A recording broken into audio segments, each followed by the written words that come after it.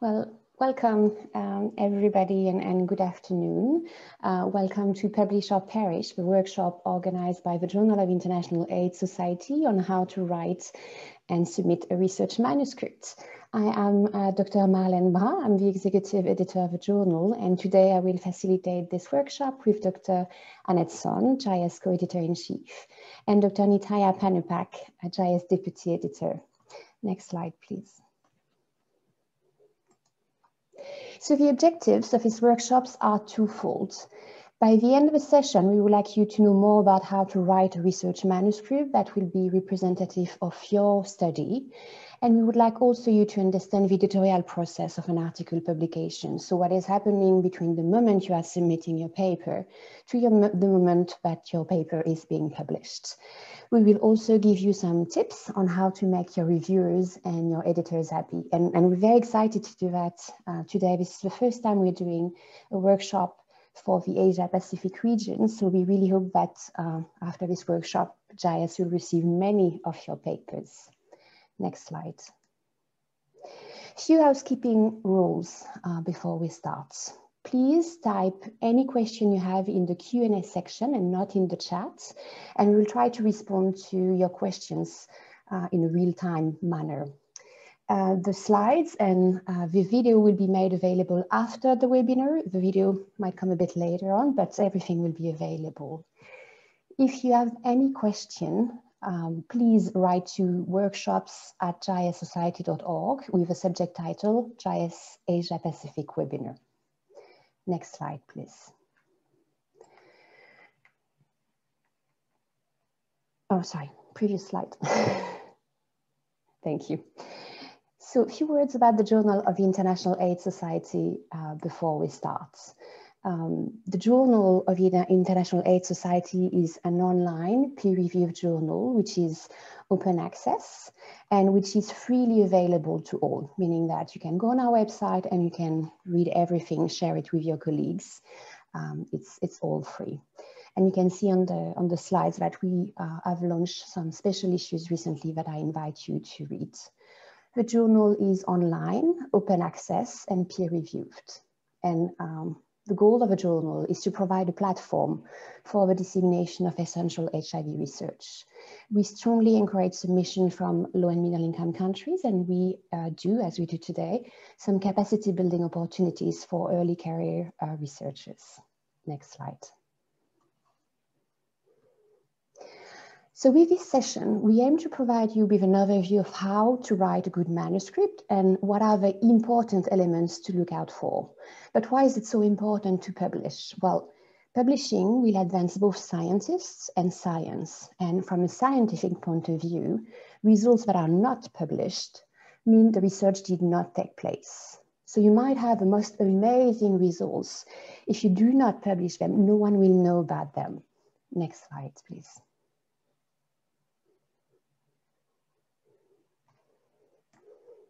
Next slide. Thanks.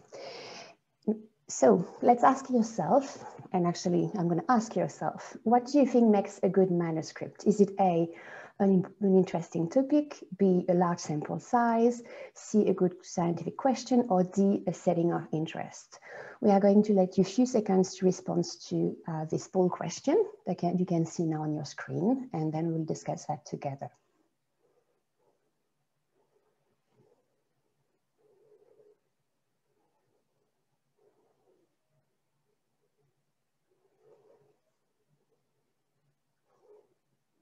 I see that you are voting. We have around 65% of people who've been voting so far. Just gonna give you a couple of seconds and we're gonna start, we're gonna show you the results of the poll.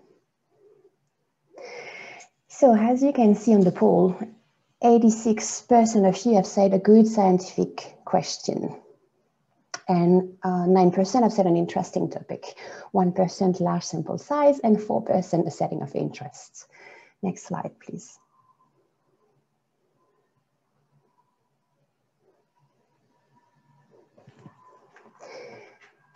So in a way, there are no right or wrong response because obviously you need an interesting topic. You need, uh, I mean, it's better to have a large sample size rather than to have a smaller sample size. But what is really important when you write a manuscript is to have a good scientific question.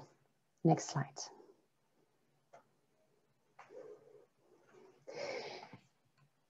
Because a well-written well manuscript cannot make up for poorly written, uh, a poorly designed study. And a good study is based on asking the right question. It's really all about the question because your research is based on a question that you wanted to explore. And in the same way, your manuscript will revolve around this question. So first, you will give the reader some background information, so it becomes very clear what why your research was so important.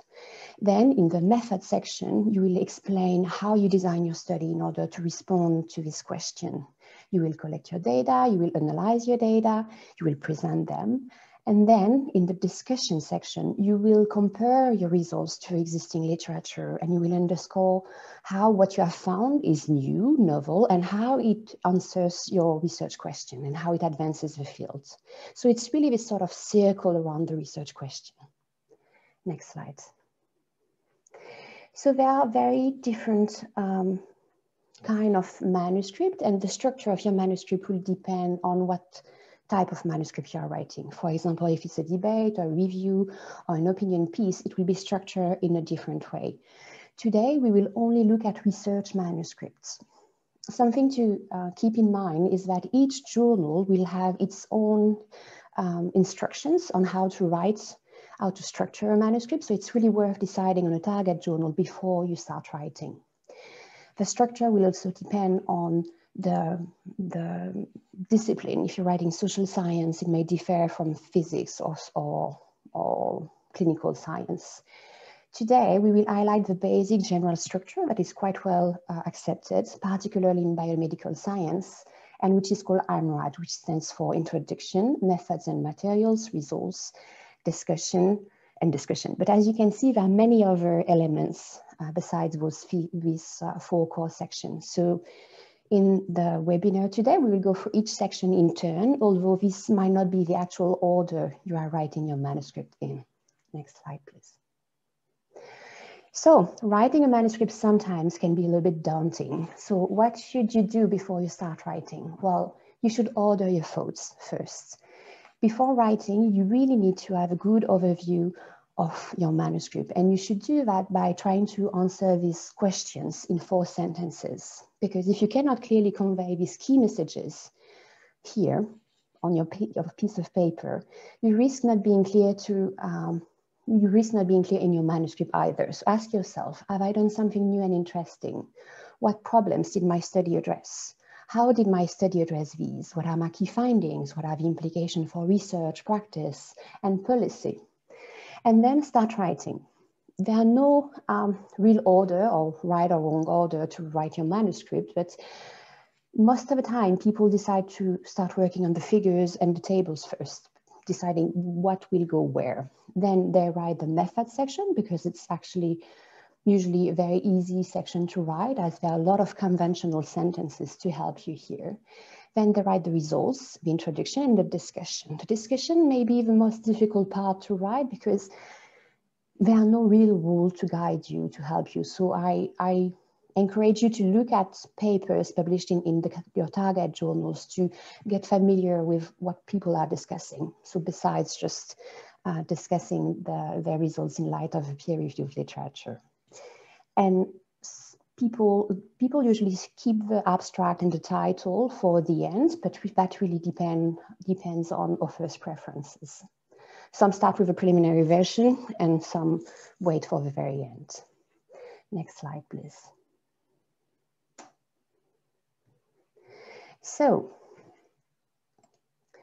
to your opinion, what is the most important part of a manuscript? Is it A, the title, B, the abstract, C, the results, or D, the methods?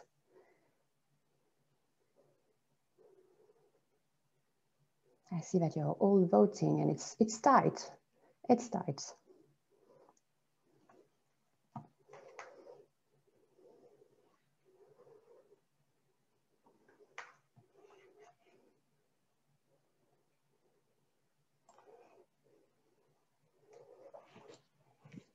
Okay, let's share the results now. So 38%, 38% of you said it was the abstract it's actually, yeah, 22% said the results, 27 the methods, and 12 only the title. Next slide, please. we said it's a title here, and I, I can understand, I can hear you, although I can't. You might think that this is a bit controversial. Next slide, please. Why did we say that the title was so important in, um, in a, a manuscript and in an abstract? Well, the title discloses basic information and will help the reader decide if they will read the full paper or not. So think that the abstract is the part that is most often read and often the only part read. So your abstract needs to be short, specific, representative, and informative. So think about your abstract as a mini advertisement of your work. Think also how you would look for the kind of information that is in your paper and make sure that you include keywords in your title. Next slide, please. So this is another small exercise that we're going to do together. So we have this title, Uptake and Impact of Facility-Based HIV Self-Testing on PrEP Delivery, a pilot study among young women. I would like you to take a second, a couple of seconds to think of a kind of information that is missing from this title. Is it, well, I'm going to let you actually uh, think of what is missing. Is it what, where, who, and how?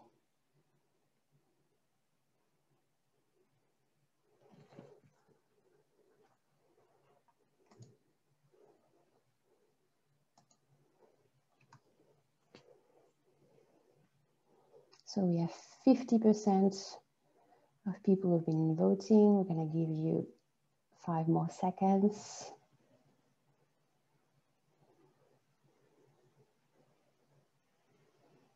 and we're going to share the results now. So overwhelmingly, 75% say of, of the participants today said that where the study setting was missing. So let's look at the next slide together. Indeed, um, the study setting is missing. Next slide. So, and to be fair, we actually deleted the study setting from the original title. So title is uptake and impact of facility-based HIV self-testing on PrEP delivery. So we know what the paper is about. We know that it is a pilot study. We know that the population of interest is young women, and we know the study setting, which was missing in the previous slide, which is Kisumu in Kenya. So this is a pretty informative uh, title. Next slide. So what is an abstract? And this is something to keep in mind is that this is the next section that is most often read and which is mostly freely available as well. Remember that not all journals are open access and that the full article may be behind a paywall. So an abstract should include all the important details and data of your manuscript, of a research study, sorry, so that it can serve as a standalone summary of your work. So there's the title that we've been discussing uh, a bit earlier, but there's also different section, the introduction that will describe the issue, the knowledge gap in the aim, the method section that will um, describe the methodology used or the approach taken, the result part that will summarize your key findings and data of the study, and then the conclusions that will give away um, the key take-home elements, the main outcomes, and sometimes we'll discuss some implications and recommendation. Something important to remember, there's usually a word limit, so check the journal guidelines. Only include text, no figures, no tables, and do not include references. Do not go beyond what is established in your paper and do not offer non-significant results. Do not speculate in your abstract. Next slide. So during this workshop, we will use an article by Wanga and colleagues titled Uptake and Impact of Facility-Based HIV Self-Testing on PrEP Delivery, a pilot study among young women in Kisumu, Kenya. And this title should be pretty familiar to you by now. Uh, and this is an article that has been published recently in the journal. So we have simplified uh, the writing. We have edited, we've been editing the, the abstract and, and the paper for the purpose of this workshop, but I invite you to read the full version on the journal's website. So let's look at the important elements that are mentioned in this abstract. In the introduction, the authors tell us that HIV testing is a required part of delivery of PrEP for HIV prevention. So we know what the topic is about. It's about HIV testing and it's about PrEP. However, repeat testing can be challenging in busy, understaffed clinical settings, which could negatively impact PrEP uptake and continuation. So this is the issue that they will be focusing on. And then in the last sentence, when they tell us about the aim of this particular study, they tell us that they prospectively evaluated optional facility-based HIV self-testing among young women using PrEP in an implementation program. So if we look now at the method section, we know that the study took place between February and November 2019. We know that the authors have been collecting data from young women receiving PrEP at two family planning facilities in Kisumu, Kenya, so a study setting which was already in the title. At each PrEP follow-up visit, women were given the option to choose between provider-initiated testing and HIV self-testing. We know then that what they have been particularly assessing in this paper is the fact are the factors associated with HIV self-testing uptake and compared satisfaction with HIV testing and clinic experience between acceptors and decliner of HIV self-testing. So it's very condensed, but it's very useful. You see that there are no lost word or, or um, unnecessary words here. Next slide, please.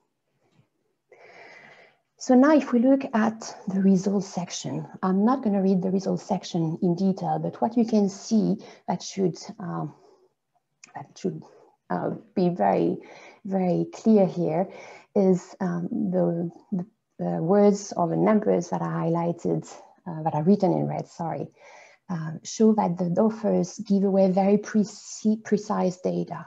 So they give away uh, percentages, confidence interval, adjusted risk ratio, um, p-value. So they give very detailed findings and very um, detailed data to back up all the statements that they are making. So it's a very precise result section. Then if we look at the conclusion, the authors tell us that in this pilot evaluation um, in Kenya, about one third of women using PrEP opted for HIV self-testing over provider-initiated testing.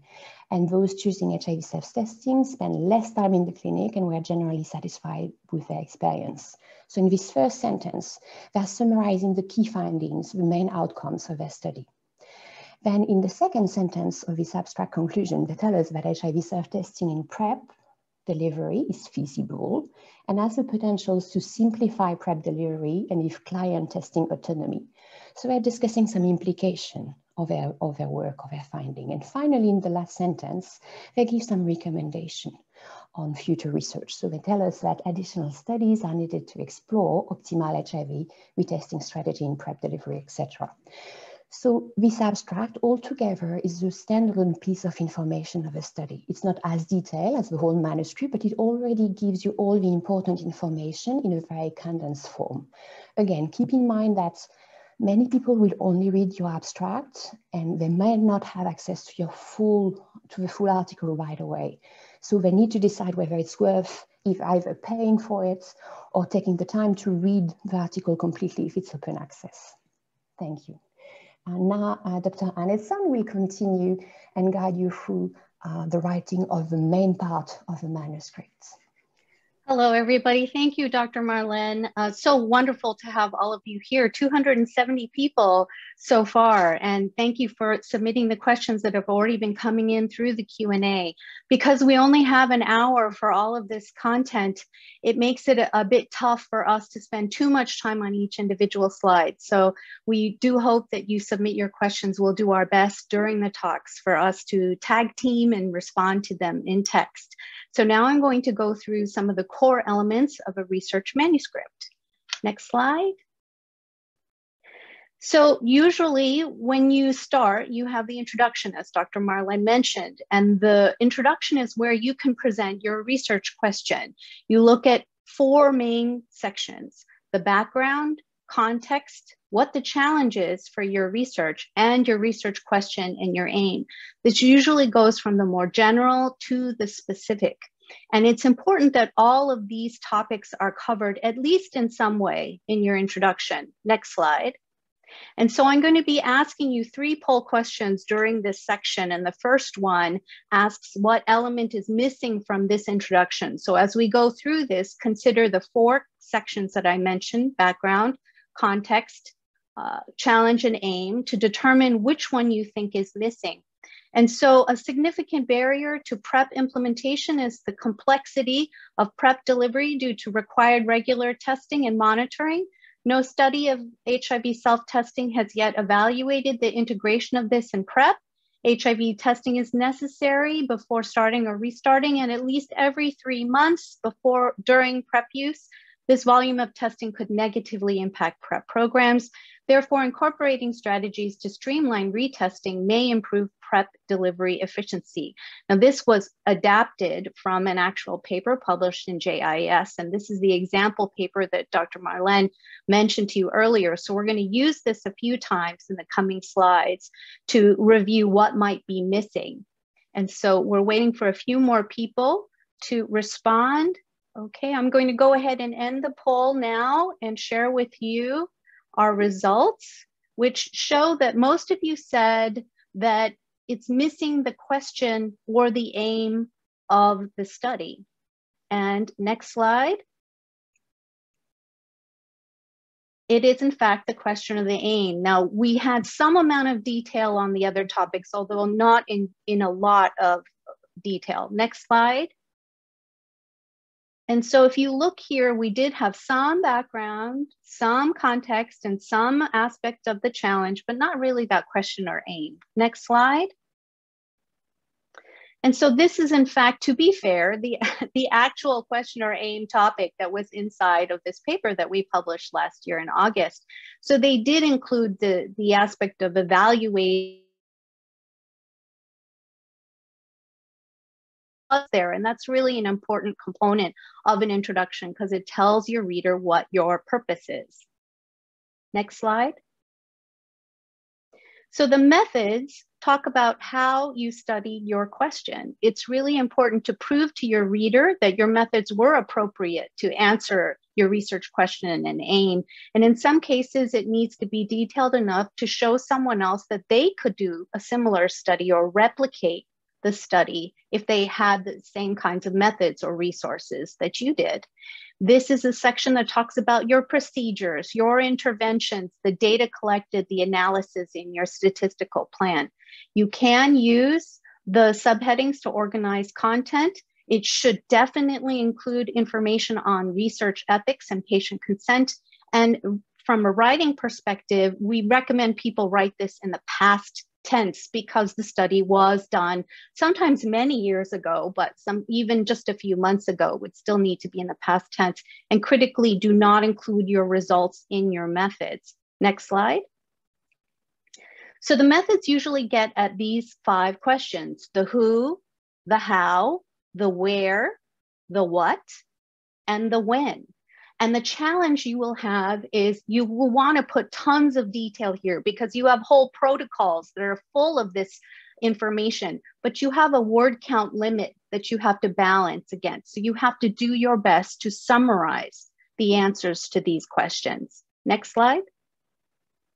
So the results section give you a chance to share about the key findings of your study. Now, not all of your data need to be presented. Similar to how you might have had a protocol with all your methods, you have stacks of data tables and stata or, or SAS output, lots and lots of details and numbers. You do not need to present all of that, but you should be specific about what you do present provide dates, not necessarily the exact day, but usually at least the exact month or year, You need numbers and percentages and confidence intervals.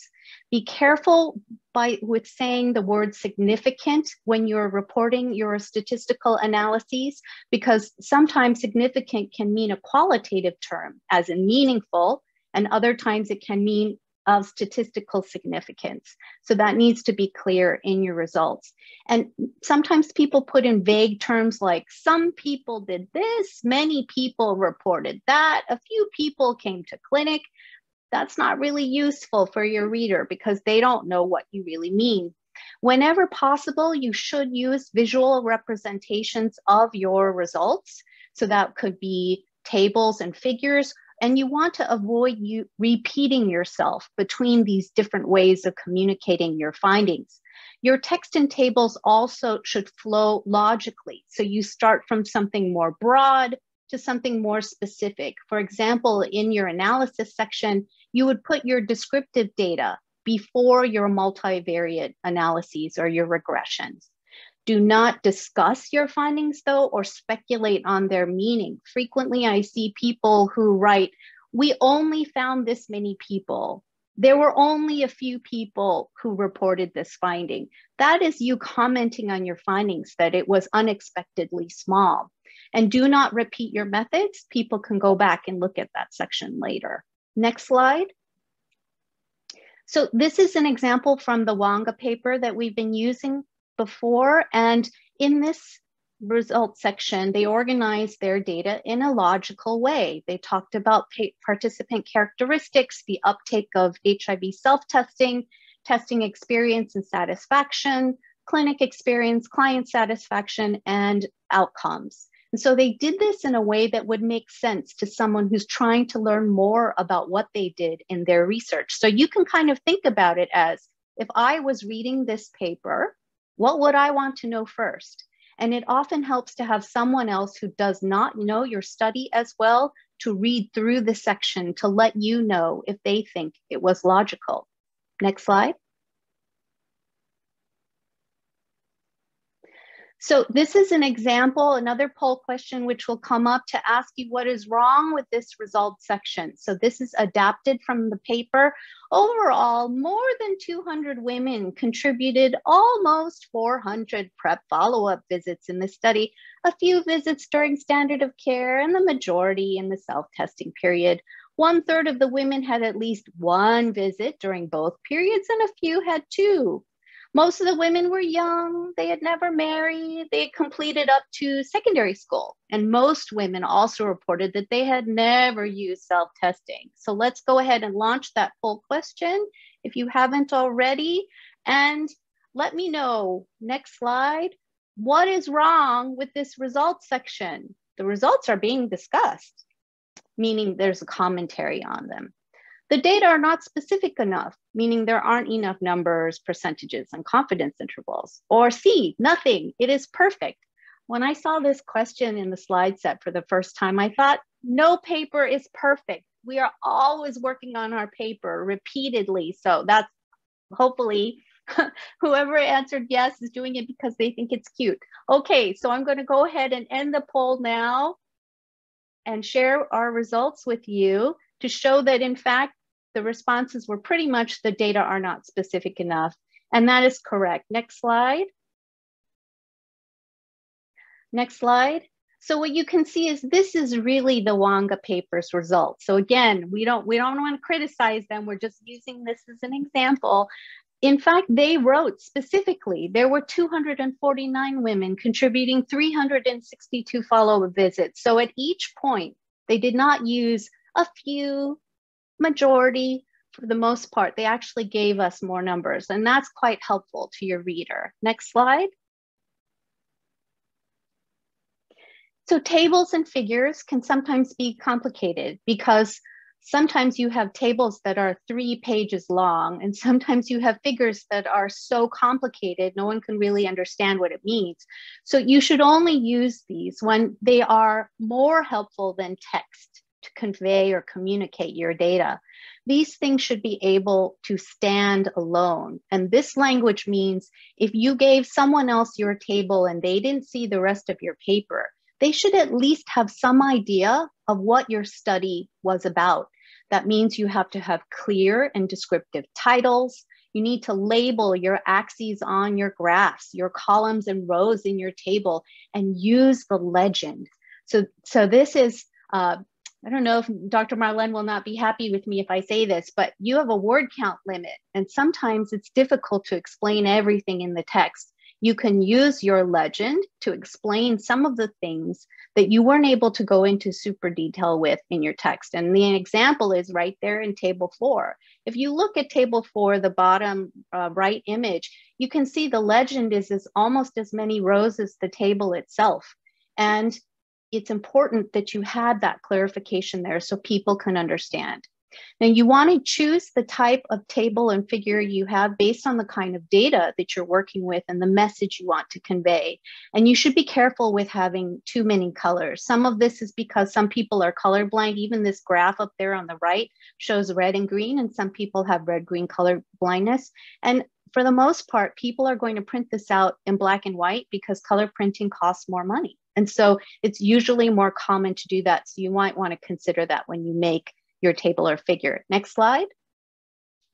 And so your discussion, this is usually the toughest part of the paper to write. You really have to think about this. I, I procrastinate on the discussion section until pretty late.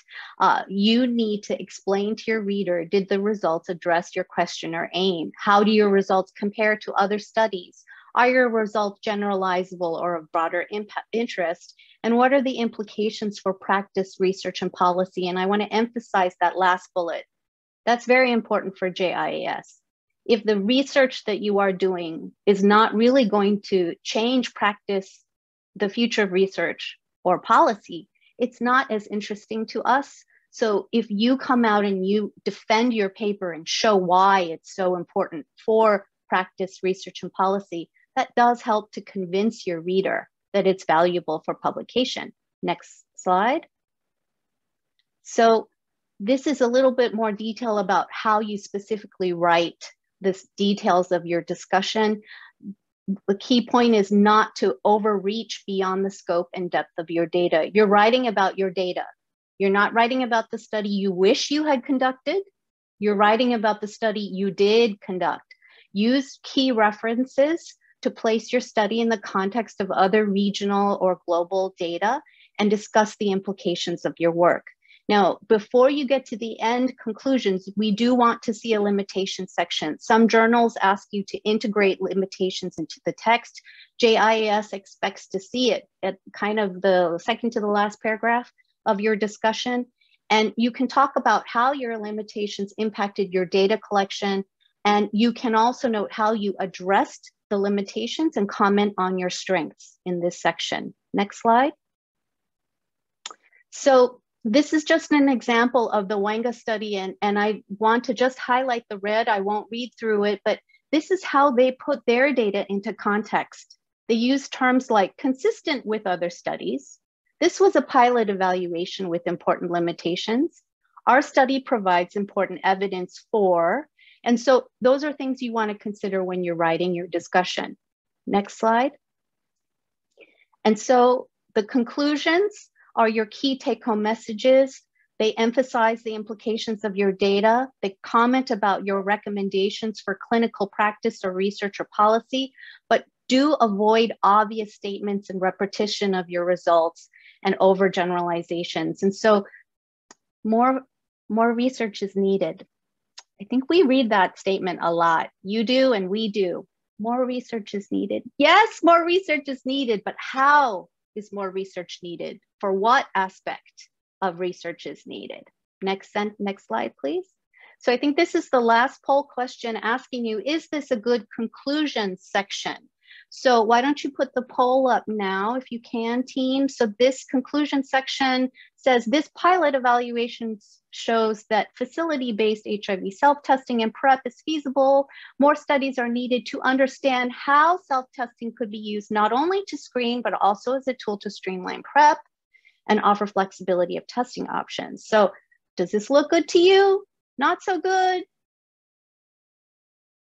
Okay, remember everything can get better, but in general, how do you think this looks? Okay, so we're gonna go ahead and end the poll and I will share the results with you.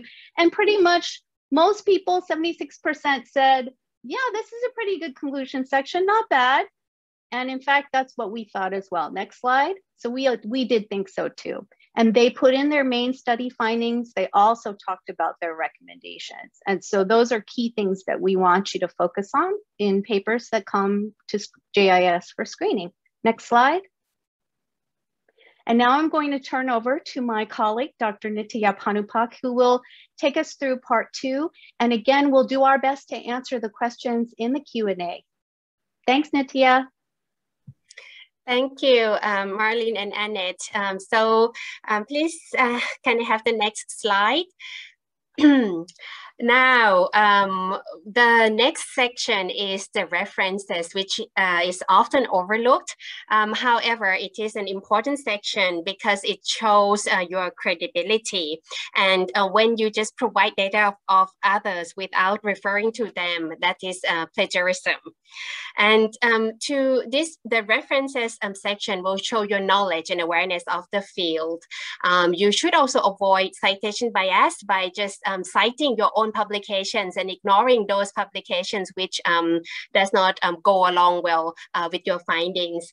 And um, also, uh, don't forget to format your references because um, each journal has its own requirements and um, incorrect formatting often suggests to um, the editors that your manuscript um, might have been previously rejected um, by another journal. Next slide, please. And um, here are the um, other three sections, uh, which are also important. Um, the first one is the acknowledgements and the funding source. Um, you are uh, responsible for getting written permission uh, for people mentioned um, in this um, section. and you also need to comply with your funders regulation about acknowledging their support. this is also the section where you should acknowledge people who have contributed contributed to your work, um, but do not meet the requirements um, for authorship. Um, the next one is the author's contributions um, statement. Um, it uh, this section uh, is now routinely asked by um, journals and are often published uh, with the article. This is to ensure that um, the authors listed um, fulfill the authorship criteria uh, of the journal and that um, persons um, who are named can take um, responsibility for certain parts of the study. Um, ghost authors or honorary authors um, can um, are, are, are, quite common and sometimes because of the hierarchical pressure or sometimes to give your manuscript the importance. But you should ensure that only authors who have really contributed to the work are included in the author list. And the last section is the conflicts of interests um, statement, the COI. This is very important uh, for transparency reasons, and um, you should mention all conflicts um, um, regardless of um, that being a potential conflict or a real conflict, because um, you may not yourself think that these um, uh, interests have influenced your interpretation uh, of the result, but this is not up to you uh, to make the decision. Next slide, please. Now, um, let's start with the last poll uh, question, question number seven. Can I have the poll up, please? Yes, um, and this is, uh, the question is, what would influence your choice of journal? Um, and um, let's choose uh, from indexed in multiple databases, open access, publication fee, uh, journals impact factor, speed of editorial decision, um, primary audience, scope, or all of um, these factors.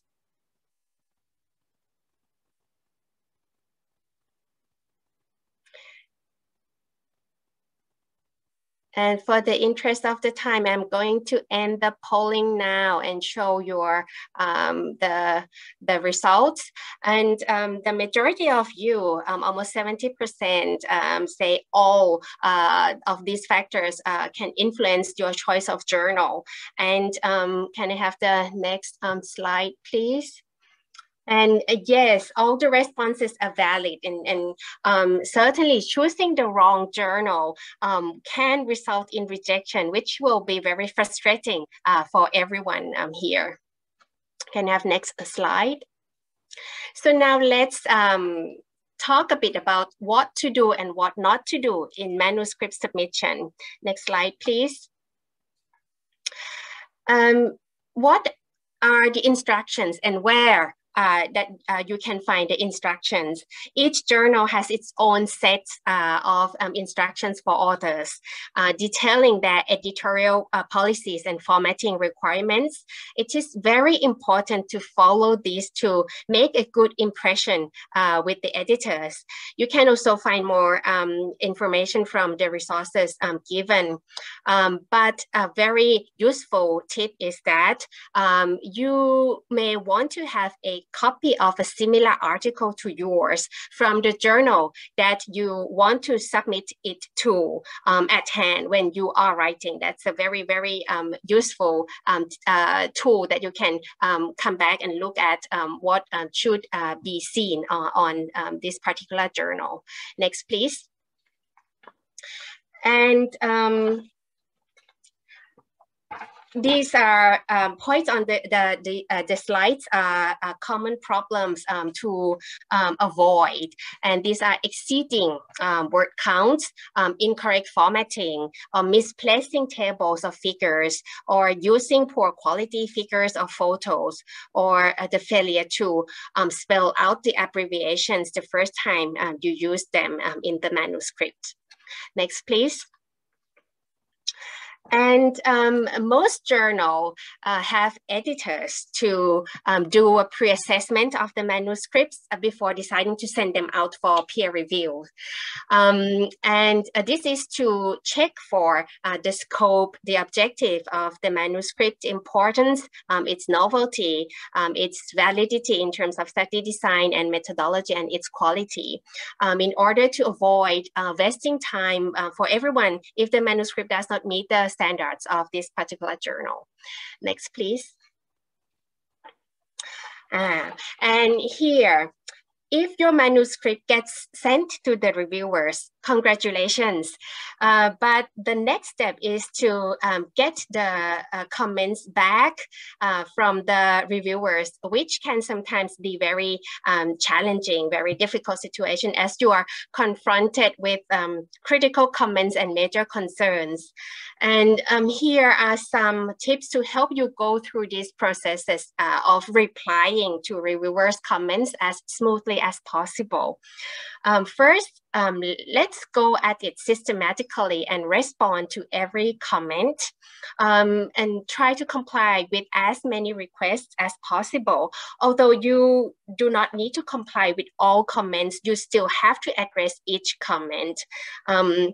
And make sure that you use a concise and measured uh, tone when uh, responding and not an argumentative tone. Do not question the credentials of the reviewers. Uh, it's very hard to do sometimes, or dismiss their opinions or argue that the strengths of the other aspects of my manuscript uh, should out outweigh uh, some of the weaknesses um, that um, are identified. Um, also, let's keep your reply uh, short and to the point. Um, and um, treat the reviewer's comment um, in a constructive way. Um, think of it as the way to improve your manuscript. And if they did not understand something, chances are that your readers uh, won't understand uh, those um, um, issues either. next, please. And um, here are practical hints to make the editors happy when they read um, your uh, reply uh, to the uh, comments. I'm sorry. Um, to it, it is good to copy and paste the reviewers' comments uh, in order um, provided, and then distinguish the comments from the res, uh, responses by using bold fonts or different colors, and detail exactly what has been changed, and do not just repeatedly uh, saying that, thank you very much for the comments, and uh, this has been corrected. Just detail exactly what has been changed, and use track changes or highlight sections that has been changes, uh, has been changed. Um, next slide, please. And um, this last um, section, we would like to discuss the publication quality and ethics. And um, these are things that we need um, to uh, avoid, we must avoid. Carelessness, uh, plagiarism, redundancy, unfair authorships, uh, the ghost and gaze authors that we already mentioned, undeclared um, conflict uh, of interest, um, subject violations. Um, many questions uh, were asked um, um, here about the um, need to include the ethical consideration and the approvals from the ethics committee. And lastly, fraud. These uh, the consequences of these things can go from rejection or retraction of article to notification of institution or even um, legal cases. Next slide, please. Um, and here are um, useful resources that you uh, may want to um, study further uh, by yourself. And next, please, I think um, we are coming to the question and answer um, time.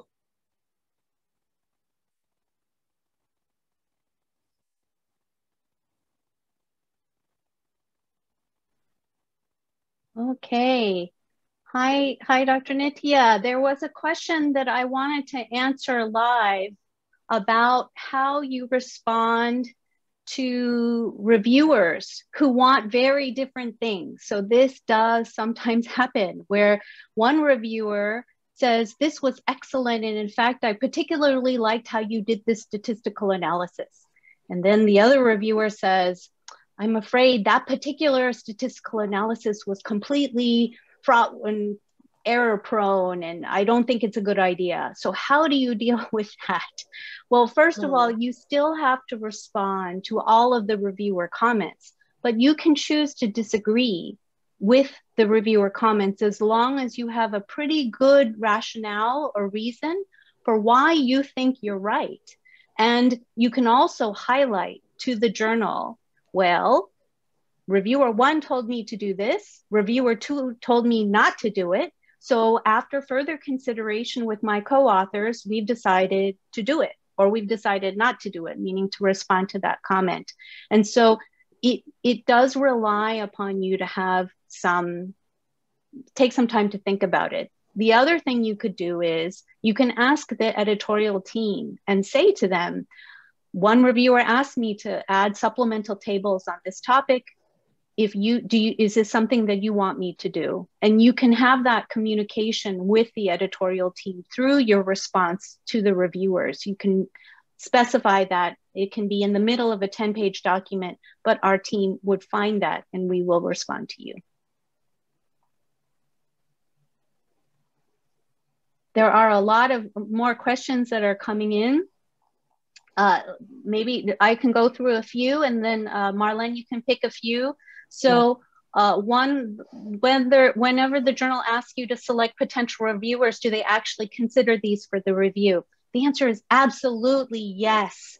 During this COVID period, we we sometimes invite what's the record marlene? 30 people. Yeah i think for some very and you can never really tell but but for some papers you will invite four reviews and it will be fine. And for the papers you can have more than 30 that's correct. Yeah Okay, so uh, it yes, but sometimes your reviewers, the ones you suggest, they say, no, I'm sorry, I'm too busy, or I have a conflict of interest with that person.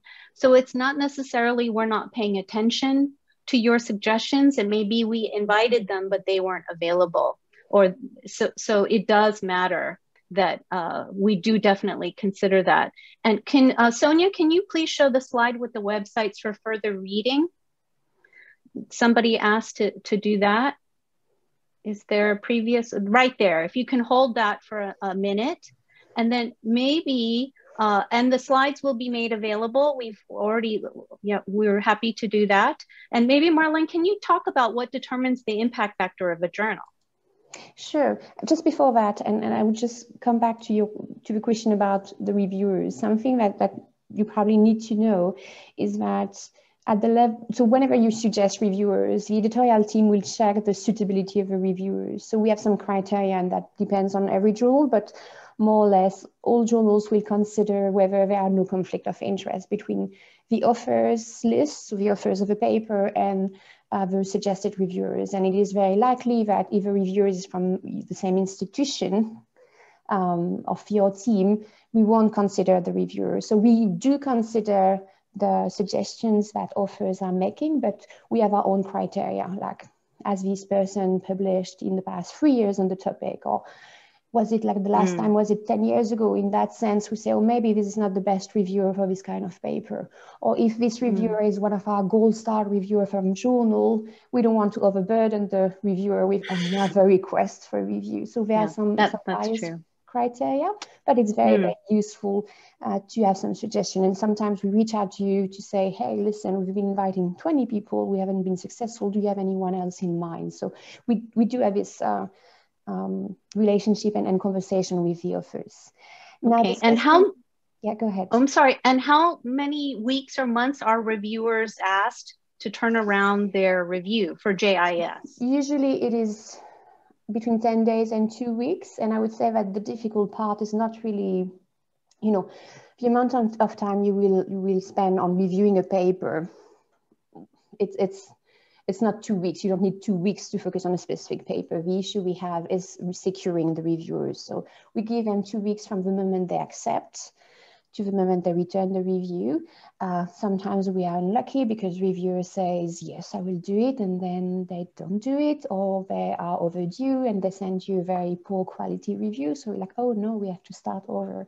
So this is why sometimes it can be uh, a bit frustrating for the authors to understand how, why does it take so much time to get the reviews while uh, when they are being asked to revise their paper, we ask them to revise um, within a month or month and a half. And, and some authors can be a bit, yeah, frustrated. I think that's a proper word saying. But you took two months to do the peer review. Why should I have to spend one month only on revising the paper? But it is a lot of yeah back and forth. And, and in average, I would say that for the journal, we probably need to invite at least 10, 12 people to make sure we secure two uh, good quality reviews. So it is, uh, there's a lot of work behind the scene that is being done yeah. by, by the editors.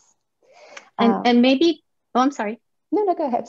Oh, so Nittaya, there's a question, how much importance does J JIAS put on novel research compared to projects that corroborate or challenge findings? As a deputy editor, you screen papers for the journal. Can you comment on what you look for in a paper mm -hmm. that you recommend to send to peer review? Mm-hmm. Yeah, I I um, myself um, would always think about um, how this paper will be used um, by the audience because I think that's the most important thing. Um, whether it's uh, probably a, a, a, paper from a very well designed um, study, but uh, if the novelty is not that much or, or, or if it does not have too many implications in in terms terms of implementation, it may be read um, and, and um, admired, uh, but not uh, very much used. I, I, I would say that um, um as, as the deputy editor, um, to make the journal becomes more and more um, interesting um, among the audience, I would uh, think about the implications as, as um, the one major uh, factors. But certainly the validity of the um, study design methods and um, how you communicate results is also um, another important, uh, are also important uh, factors. Yeah. Okay. If I can add to that, what we ask usually are our deputy editors when we assign them papers to review or to appraise before taking the decision on whether we're going to reject directly or send it to peer review is we ask them whether it is true, whether it is novel, and whether it is interesting. And those are sort of these three criteria to sort of try to look that through that lenses, those lenses. Okay. Uh, there is also a comment asking, uh, is there a way for authors to communicate privately to the editor, just like our reviewers can do? Nittaya or Marlène? In the sense, uh, I mean, the authors are always welcome to contact the editors and the editorial office with any question they may have, whether it is asking just about the status of their paper. And we receive some, some of those emails saying, hey, what's happening with my manuscript I submitted um, two months ago or yesterday. Yesterday, likely that we don't have any uh, news to give you.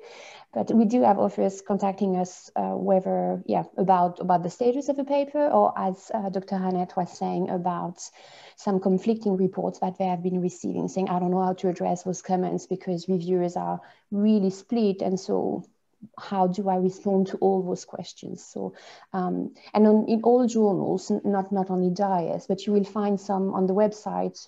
There's always an email to contact the editorial office. Yeah, I also would like to um, add as as someone who also submitted um, journals, uh, manuscripts to JIAS, that um, although the process may uh, seems very um, automatic no uh, but but we always have this uh, human sense uh, in ways of communicating with you. So so um, I, I really um, admire how um, responsive the the journal staff uh, can be and always be uh, to your um, inquiries and maybe I will answer a few uh, of the peer review related questions and then uh, ask Marlène to help to, to close us after that. So uh, it was asked about conflicts of interest between reviewers. Now we rely upon the reviewers tell us if they have a conflict. So sometimes that doesn't always work out because sometimes a reviewer isn't always honest with us, but we do ask them to consider, do you know this person? Like uh, if this person is your friend, you probably should say that you have a conflict of interest, or this person is on a research grant with you. There are certain fixed definitions that are used by certain grants agencies for reviewing, for example, grant applications, but we rely very much on the reviewer to tell us. Uh, we do try to get expert reviewers in the field to the extent possible, but as we mentioned, sometimes we don't we get a lot of people who are very busy. COVID has meant a lot of HIV experts are, are doing many other things. And so occasionally, if you feel that you have gotten a review that doesn't, you do not feel reflects expertise in the field, you are welcome to challenge that review or ask the question. But we do try as much as possible to find people who know your field and sometimes there are people who you have cited their work, you actually don't know it, but sometimes they're pretty senior professors who you talked about their studies and then they make comments about it. We do try to turn these around within three months. But sometimes, again, because of COVID, things go long. Our office makes an effort to communicate with the authors to tell them if we are struggling finding reviewers or if there has been a delay in the re review we do make that a, a, priority to communicate with you. But you are welcome to contact our office and we will do our best to respond. And I'm, I'm sorry we won't be able to answer all of the questions that are here, uh, but maybe I asked uh, Marlène to, to close us and I'll see if I can do a little typing. Thanks, Annette. Um, could we go to the previous slide? oh no, sorry. Uh, so the next slide, the slide that is advertising the upcoming, next slide, yes.